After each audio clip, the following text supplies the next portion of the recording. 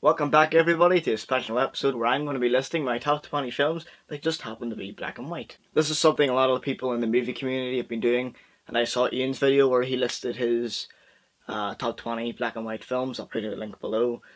And yeah, I don't really consider them to be different movies as if they were like some sort of genre, but these are the top 20 black and white films that I have seen.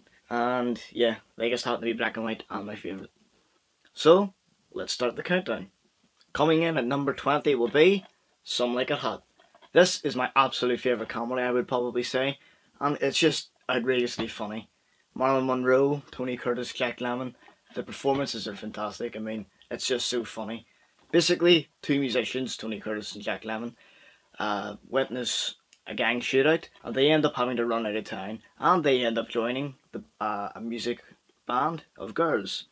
So, they dress as girls and from there, it's just non-stop hilarity, and I just love how it ends. Oh, I'm a man!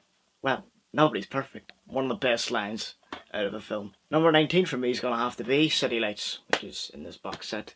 This box set will be coming up every once in a while because there's quite a lot of Chaplin films in this list. Again, City Lights is touching and funny, and one of Chaplin's best. Seriously, check it out. Number 18 is Sunset Boulevard, where we have a look at silent movie stars uh, years later after the era ended and it's really interesting to see what they've done. I mean, even back then, we were seeing the obsession with the celebrity image.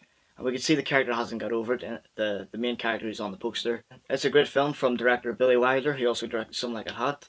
I certainly look forward to looking at more of his films. And Sunset Boulevard is excellent. Number 17 is Nights of Cabiria from Federico Fellini in the 50s. And Cabiria tells the story of a prostitute who finds herself hoping for romance and eventually she starts to find it, but things start to go wrong and we just see this turmoil and the stuff that happens to her, you, you can't help but feel sorry for her and I think it's great. I, love, I need to watch it again actually, but yeah, great movie and definitely has one of the best movie endings. Number 16 will be Chaplin's The Gold Rush, another hilarious film and has some of the best comedy sequences. I mean, there's the scene when he hallucinates the chicken, the scene whenever he is eating the boot, the famous bread roll dance, and the last 20 minutes is fabulous. Number 15 would be the precursor horror film, The Cabinet of Dr. Caligari. German expressionism at its finest, probably. And I really need to see this one again, and I look forward to the Masters of Cinema release coming out uh, later next month. And The Cabinet of Dr. Caligari is a somewhat Frankenstein kind of story about this doctor and his creation. It's one of the most visually astounding films I've ever seen. Whenever I first watched it a couple of years ago, I was just hypnotized. And yeah, it's a special kind of film. Definitely check that one out as well.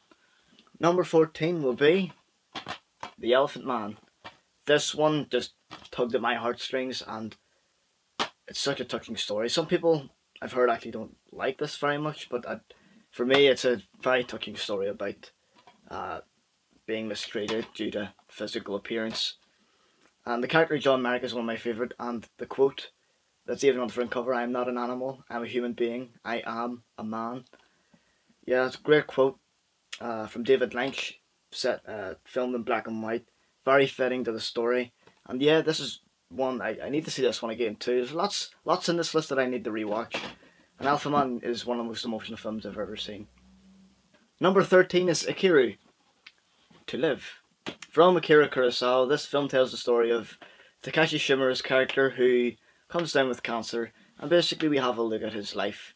I think this must be one of the first films to deal with the issue of cancer, and it does it really well, completely unflinching, very true to life kind of story, and Shimura's expression throughout the film says it all. is a fantastic movie again, highly recommend that. It's a good entry for a Kurosawa film if you haven't seen anything from him yet. Number 12 will be Fritz Lang's um, telling the story of a child uh, murderer, uh, Hans Becker, who finds himself being chased by everyone in society. Again, there's lots of German expressionism in here, and the performance from Peter Lorre is great. Number 11 will be Seven Samurai. I don't have the DVD to show you because I just sold it because I want the Blu-ray. I've said again in my previous video that Seven Samurai is one of the best action movies. Its influence can be seen even got remade as The Magnificent Seven, the Western.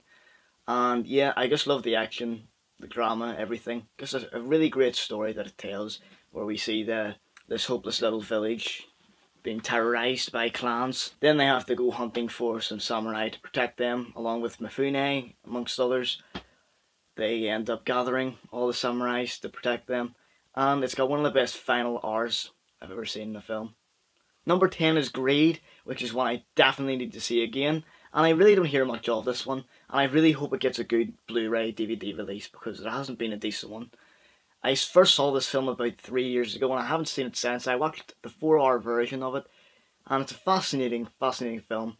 It's a very simple kind of story, greed, uh, someone gets inheritance money and it just deals with the troubles money can bring, you know, how it can corrupt people, how it can just people obsessed with having money. It's really interesting because there was ten and a half hours of footage and six hours of it was lost or destroyed. I can't remember why, but yeah, Six hours of that film was wrecked, destroyed, completely gone, which is kind of a tragedy because I would love to see more of it, believe it or not.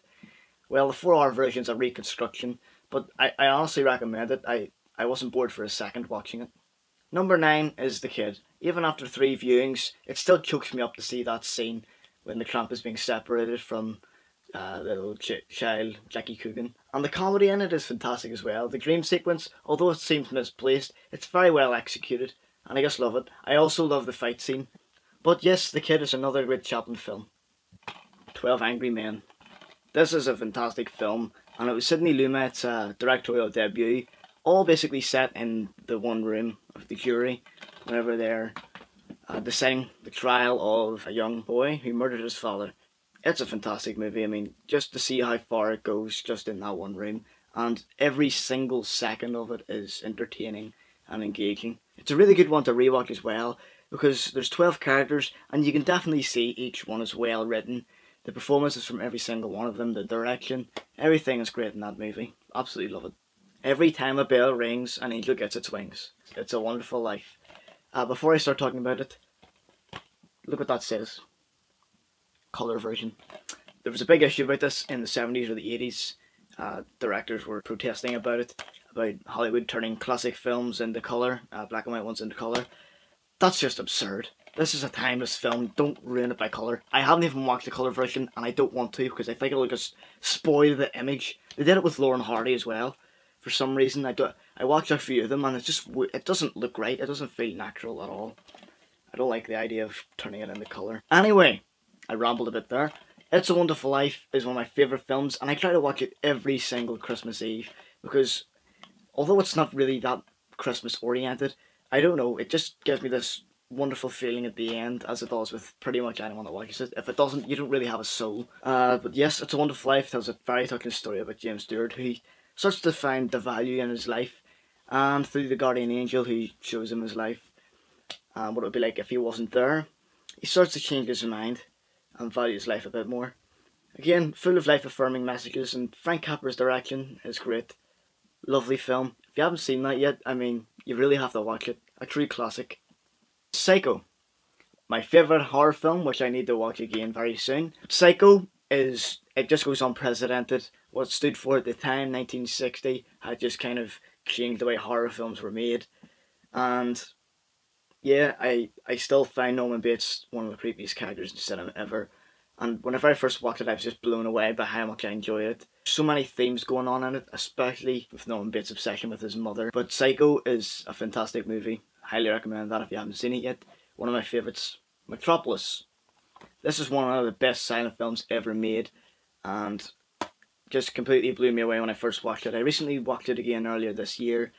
And I loved it just as much. The themes it tells could not be more relevant today. Looking at the looking at the line between social classes, you've got the city builders, city planners, all the upper tier people, and then beneath the city we have where the workers live, the working class people. Now that itself is a fantastic metaphor for how things work in this society and you can even see that reflect upon reality itself. Uh, Metropolis is full of fantastic sets. I can't get over the set designs. I do like CGI at times, but like films like Lord of the Rings, you know, it combines CGI and set design. It's the set designs that I love the most, and it really shows some creative work. And in Metropolis, the scope is fantastic. Rashomon. Rashomon tells a story from three different perspectives, and it's up to you to decide which one you think's the truth. And the thing is, we really don't know what the truth is.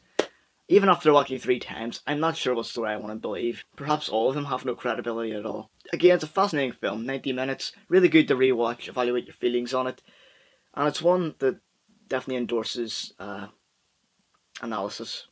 Redbeard. Redbeard is Kurosawa's most emotional film, if you ask me, and it really looks at the human soul. Some of his finest cinematography as well is in there, and Mifune plays a powerhouse performance once again. Very emotional film, absolutely loved it. Modern Times, an absolute masterpiece of comedy. Everything that happens to Chaplin's character in this is great. You see him going from the assembly line where he just goes nuts, and I'm sure people would go nuts. I mean, people even go nuts at scanning things at Tesco or other supermarkets. So you can only imagine what it's like to work on an assembly line. Very strong themes looking at the Industrial Revolution of, you know, not too long before that film came out, you know, we're talking late 1800s. And it was something that really did affect the economy. And I think the way Chaplin captured it in the film is great. Again, lots of fantastic humour, and it tells a somewhat romantic story too. Number one, you may have guessed, is The Great Dictator in this box set. And again, there's a lot of hilarious moments in it. Absolutely fantastic. Great Dictator is easily one of my top five films, and I love that end speech, as I've said before. Uh, you can find that on YouTube, it's got millions of views. Yeah, fantastic scene. And overall, yeah, the film has a message of gold. Well, thanks for joining me for my top 20 black and white films. If you want to go ahead and make your own list, go for it. We'd love to see some lists being made through a video. If not, just comment below what your favourite black and white films are. We'd love to hear what your choices are. Once again, keep an eye out for more uploads. We'll be getting some more up this week. If you enjoyed the video, don't forget to like, subscribe and all that jazz. And I'll see you next time.